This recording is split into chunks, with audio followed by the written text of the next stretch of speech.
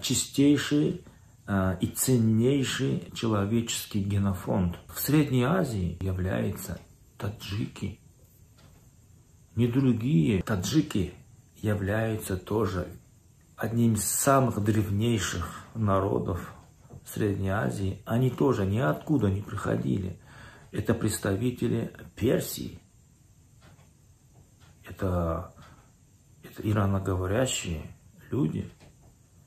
Это персидская цивилизация. Это одна из самых-самых мощнейших, самых развитых цивилизаций ну, в древности. Так вот эти люди есть. Они, они хранят в себе этот генофонд. Таджики – это арийцы. Это чистейшая, ценнейшая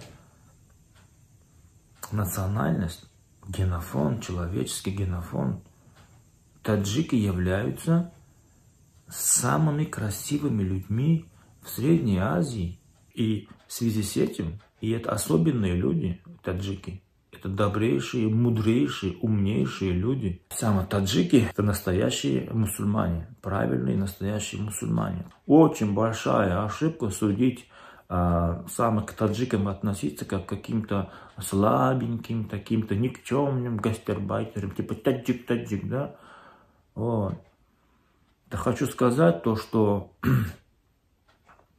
когда в следующий раз увидите, увидите таджика или сам встретите какого э, представителя этого народа, так знаете, что таджики на голову, а может и на две головы выше, лучше во всех смыслах всех остальных народов СССР.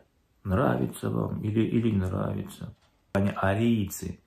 Это чистейший, ценнейший человеческий генофонд. До них дорасти надо. Дорасти надо до них.